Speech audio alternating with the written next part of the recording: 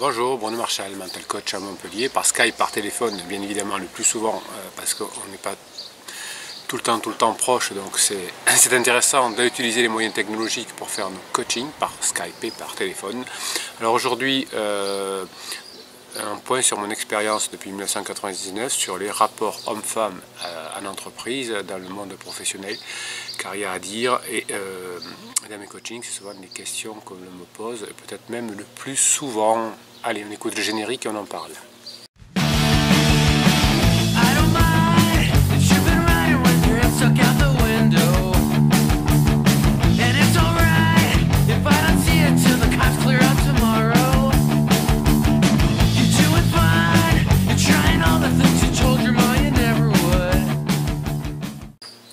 Merci le générique. Voilà, alors, rapport homme-femme de l'entreprise, euh, des choses intéressantes, puisque vous savez que j'ai la chance d'avoir euh, la double compétence de coach en entreprise depuis 1999, mais aussi coach en relation de couple. Et je me suis aperçu qu'il y avait beaucoup de ponts, puisqu'aujourd'hui, bien évidemment, euh, on ne va pas enfoncer une porte ouverte. Il y a autant de personnes dans les entreprises qui travaillent, hommes ou femmes, et il y a autant de managers euh, hommes que femmes. Alors certains me dire pas encore. Je peux vous dire par expérience que dans bien des domaines d'activité, il y a plus de femmes managers que d'hommes, notamment dans les jeunes générations puisque je, me suis aperçu, alors ça c'est juste l'expérience, euh, qu'on embauche, euh, les, femmes managers sont mûres plus tôt, hein, matures plus tôt on va dire, et, donc dans des, des, secteurs d'activité comme l'hôtellerie par exemple, euh, on a beaucoup de managers femmes plus que d'hommes. Donc en tout cas, sur toute génération, on arrive à un équilibre. en tout cas, c'est ce que je constate depuis 1999.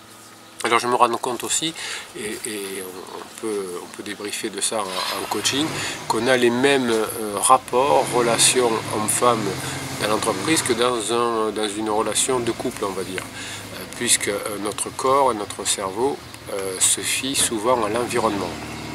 Alors par exemple, on sait que deux personnes qui sont dans ce qu'on appelle la sainte clause, ça s'appelle la théorie de la proximité, hein, c'est bien connu, on ne va pas rentrer dans en détail là-dedans, c'est-à-dire que deux personnes qui sont euh, dans un endroit seul, intime, ont l'impression que euh, ben, sont, sont amoureuses. C'est-à-dire que d'habitude, deux êtres humains, hommes et femmes, quand ils sont dans un endroit intime et en tout cas seuls, c'est qu'ils sont amoureux depuis la nuit des cavernes, euh, la, nuit des temps, les cavernes, pardon. Donc là, quand un homme et une femme se retrouvent seuls dans un bureau euh, toute, toute, la journée, euh, eh bien, on, a le corps et l'esprit qui s'imaginent qu'il peut y avoir affinité. Donc c'est un biais cognitif. c'est pour ça qu'on retrouve dans le monde professionnel un grand nombre de personnes qui tombe amoureuse entre guillemets, puisque euh, le rapport, le monde professionnel est la deuxième, euh, deuxième façon de rencontrer euh, son âme sœur, comme on dit, après les amis.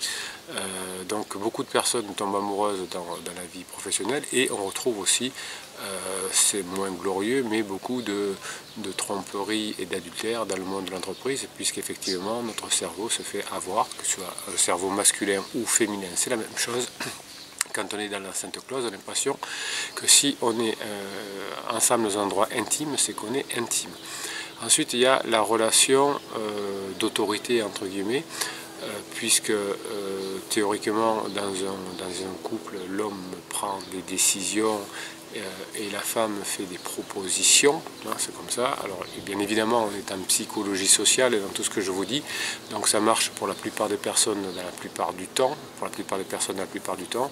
Donc bien évidemment on pourra toujours trouver des exceptions, hein. je vous dirai toujours oui c'est vrai, chez moi c'est pas pareil, et bien c'est comme ça. Euh, et je vous dirai, vous avez raison, parce qu'il y a toujours des exceptions. Voilà, donc généralement l'homme prend des décisions, la femme fait des propositions, et donc quand un homme est manager et que son, assistante par exemple ou ses collaboratrices euh, font des propositions, eh bien pour le cerveau c'est un biais cognitif aussi, et on a l'impression que l'on peut être dans une relation euh, de couple ou une relation amoureuse. quand c'est l'inverse, quand la, femme est manager, l'homme devient force de proposition mais ne prend plus de décision généralement. Ou s'il se rebelle, il va ne pas pouvoir rester longtemps en place de collaborateur puisque la, la place de collaborateur de l'entreprise comme vous le savez, c'est euh, de faire des propositions que le manager prend la décision. Donc le rôle de manager est un comportement d'homme et quand une femme euh, est manager et c'est très très bien canné, elles sont très douées, il faut qu'à ce moment-là, elles prennent un comportement d'homme, qu'elles ne deviennent pas absolument un homme, mais qu'elles prennent des décisions et qu'elles prennent des décisions de façon tranchée dans une relation de couple, euh, on fait toujours le parallèle, les femmes, généralement, toujours psychologie sociale, aiment bien les hommes qui savent prendre des décisions. Donc c'est pareil en management, souvent les collaborateurs me reprochent que leur manager, euh, reprochent à leur manager, plutôt pas à moi, mais me disent que leur manager ne prend pas assez de décisions. Donc euh, vous savez que l'homme prend une forme de communication très directe et parfois maladroite, et une femme dit les choses indirectement, pensant que l'homme doit euh, le comprendre. Et bien souvent, en management, on trouve la même chose, c'est que euh, le manager doit être direct, et quand il est indirect, ça indispose ses collaborateurs. Quand il dit euh, j'aimerais bien, ce serait bien, il faudrait que, ça suffit pas. Surtout si on dit ben, j'espère que la personne a compris ce que je veux en management, j'ai entendu, de toute façon, tant que je suis content des personnes, je leur dis rien. Hein, euh, quand je vous adresse la parole, c'est que ça va pas. Tant que ça va bien, je dis rien, disaient les mauvais managers, entre guillemets. Et oui, parce que ça, euh, c'est un comportement qui n'est pas d'homme, qui doit dire directement ce qui est bien et ce qui n'est pas bien, un peu comme, comme un professeur. Donc vous voyez qu'il y a beaucoup de parallèles entre le management et la relation de couple, et c'est donc pour ça qu'on est victime de l'heure dans l'entreprise, où on a euh, tendance à tomber plus facilement amoureux dans ce secteur-là que d'autres. Euh, par ces différents effets, il y en a d'autres, qui sont des, biais cognitifs. Alors il y a un dernier biais quand même que je voulais vous parler aujourd'hui, c'est l'apparence puisque dans le monde professionnel, en principe, euh, on demande dans beaucoup de secteurs de se mettre à son avantage. Euh, alors c'est comme ça, il euh, n'y a pas d'explication, mais on demande d'avoir des tenues, d'être plutôt séduisant, hein, c'est l'explication est là. Et donc effectivement, on a avec nous, dans le monde professionnel, autour de nous, des êtres humains qui se mettent, qui s'apprêtent, comme on dit, et donc qui qui donne envie plus que, plus que, plus que de, raison entre guillemets, euh, puisque là aussi, biais cognitif, quand une femme ou un homme veut plaire à, sa compagne, il va s'apprêter. Surtout une femme d'ailleurs, hein, dans un, premier rendez-vous ou dans des rendez-vous, vous voyez au niveau d'apprêtement de la, de la personne qui vient, euh, son degré d'intérêt généralement. Hein. Une femme fait très attention à son, à son, à son attitude euh, look, on va dire, les hommes un peu moins d'ailleurs. Donc on peut mesurer le degré d'attraction ou le degré euh, d'intérêt d'une personne plutôt féminine en, fonction de son degré de, euh, qualité d'habit et de côté, euh, on va dire, séduisant, attractif. Donc dans l'entreprise, effectivement, on se met le plus souvent dans le monde professionnel plutôt en avantage dans ce monde attractif. Hein. il est rare que ça peut arriver qu'on aille travailler en maillot et en short, travailler sur une plage. Euh, c'est rare qu'on aille euh, en pantoufles et c'est rare qu'on travaille, euh, sauf sur les sportifs, en jogging élimé. Et donc pourtant, c'est ce que l'on fait parfois, hein, ce que certains font parfois, je déconseille à mes clients, quand ils arrivent chez eux, ils mettent pantoufles, tongs et, et short ou jogging élimé. Et donc finalement, l'autre pense que son conjoint ou sa conjointe n'a plus de signe d'intérêt, donc d'attraction. Et quand il arrive ou elle arrive dans l'entreprise, elle voit son patron, sa collaboratrice, son, manager féminin apprêté. Et donc on a l'impression qu'il euh, y a un rapport de séduction qui se met en route.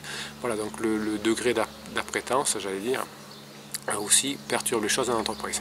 Voilà, donc je voulais faire ce rapport parce que dans mes deux métiers de coach de couple et de coach euh, en entreprise, euh, qui est mon métier principal, euh, je retrouve beaucoup de ponts, hein, comme on retrouve beaucoup de ponts entre le comportement humain et le comportement animal, notamment avec les chevaux.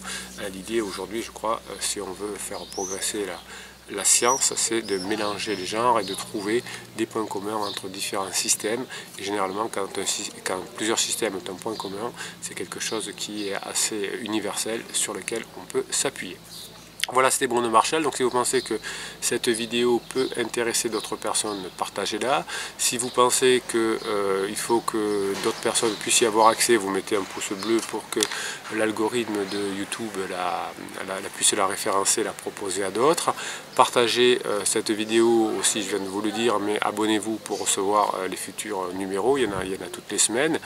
Et aussi, bien évidemment, mettez des commentaires, commentez cette vidéo, que vous ayez, et surtout si vous avez des questions à poser, hein, ça c'est important, je réponds toujours euh, par, euh, par, écrit ou euh, par vidéo. Donc on met des commentaires, on met des pouces bleus, on partage, on s'abonne et je vous dis à très bientôt.